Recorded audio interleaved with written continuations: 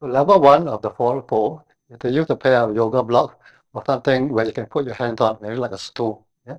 So you're going to bend down here and then try to touch the blocks with your palm. And then from here, you're going to try to straighten your legs. Slowly pulse. Okay? If you can't straighten your legs, then just slowly pulse and just feel the stretch. And then as you get better, you should be able to do more. Now you can also try to stretch one leg at a time. So I'm going left, then right. So this is slightly easier than doing two legs at the same time. So do this enough times. After a while, when you get warmed up, when you get more flexible, you should be able to do it with both legs. Okay? And then when you're comfortable here, try to stay here for at least 6 to 10 seconds and feel the stretch. And then as you get better, you can proceed to level 2. So level 2 is the same thing. The only difference is we don't use yoga blocks. We put our hands on the floor here. So imagine there are no yoga blocks here. We bend down again. Notice I'm bending my knees and I put my hands on the floor. Over here I can reach. Then from here, again the same thing. I try to straighten my legs. Straighten.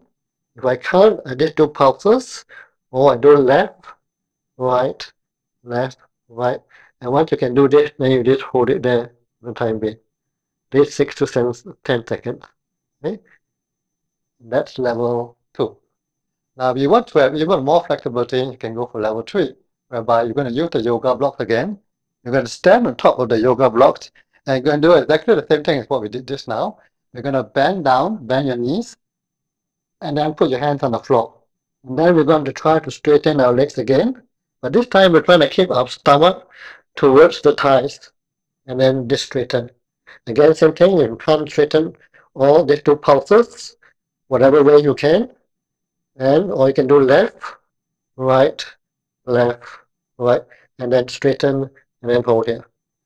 And then if you want even more flexibility, you can put your feet on another set of yoga blocks to make it even higher.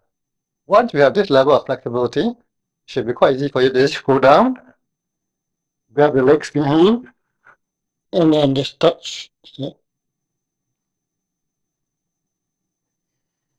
ခမ်းမဖြစ်တော့